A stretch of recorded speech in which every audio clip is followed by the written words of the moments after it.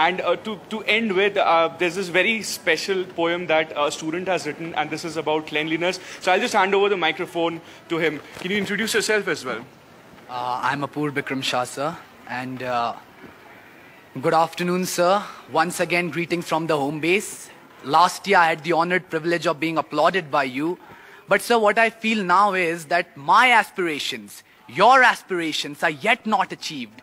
We have a lot more to conquer, miles to cover.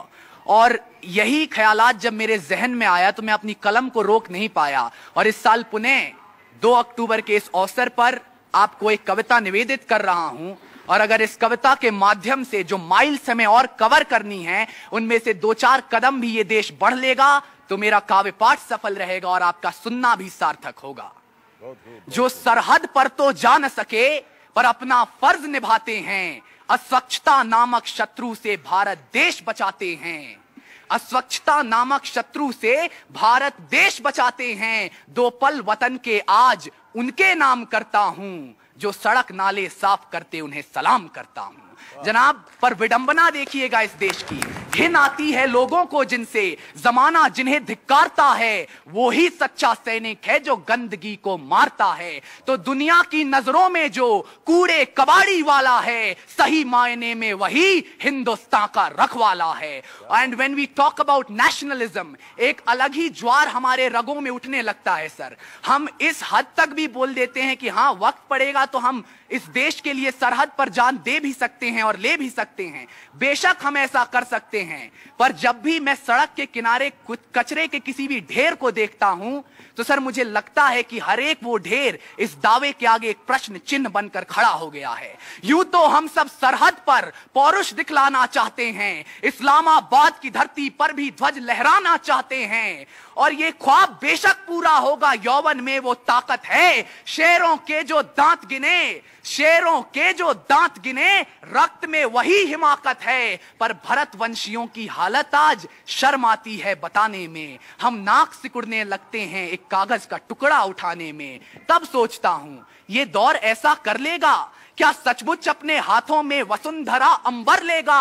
अस्वच्छता से मैत्री है तो रज तिलक क्या लगाएँगे? जो हाथ झाड़ू उठा न पाए, संगीन कैसे चलाएँगे? और सर, अंत में मैं बस यही कहना चाहता हूँ कि सरहद सैनिक बचा लेंगे, बैठे वतन की साधना में। हम भी तो कुछ अर्पण कर दें, भारत माँ की आराधना में। और हम क्या अर्पण कर सकते हैं, सर? एक भीष्म प्रतिज्ञा अब एक भीष्म प्रतिज्ञा अब, हर जन भारत का ले ले। एक भीष्म प्रतिज्ञा अब, हर जन भारत का ले ले। अटूट प्रेम स्वच्छता से हर मन भारत का ले ले। अटूट प्रेम स्वच्छता से हर मन भारत का ले ले तो युद्ध का ऐलान अब गंदगी के खिलाफ हो और मांग शवुड की जनता से है देश का कचरा साफ़ हो। हुक्मरानों से उम्मीद यही आशा है जवानी से। हुक्मरानों से उम्मीद यही आशा है जवानी से। और हम क्या आशा करते हैं सर? बस एक यही आशा में जो करने जा रहा हूँ जो निवेदन अंतिम इल्तिजा जो आपसे रखता हूँ मैं सर बहुत ही I really feel on I really feel honoured that I am speaking in front of you परम आदरणीय अमर कवि श्री हरिवंश राय बच्चन जी की वंशावली के सबसे चमकदार सितारे के सामने ये इल्तिजा अगर मैं कर रहा हूँ, और शायद अगर ये आपके अपने विद्यालय के प्रांगण से ये निवेदन उठ रहा है तो हिंदुस्तान इस पर अमल ज़रूर करेगा। इस बात की आशा कर रहा हूँ, सर। और तब अंतिम पंक्तियाँ आपको निवेदित करता हूँ। हुक्मरानों से उम्मीद यही आशा है जवानी से, इल्तिजा गांधीवाद की हर एक हिंदुस्तानी से, संदेश हमारा जमाने भर में हर पहर जाएगा। जम्बुदीप का जय घोष गगन में बेशक गहर जाएगा। भले खूना बहाए सरहद पर एक छिलका अदब से उठाइए बिना पवन ही अमर तिरंगा खुद ही लहर जाएगा। जय क्या बात क्या बात। भाई साहब ये कविता हमको ज़रूर भेजिएगा आप। मैं बहुत प्रभावित हुआ हूँ आपके इससे। और एकदम रोटे खड़े हो गए हम सबके यहाँ पर। ये कविता हमें आप भेजिएगा प्लीज़। मैं इसको अपने हृदय से लगा के रखूँगा और छापूँगा भी।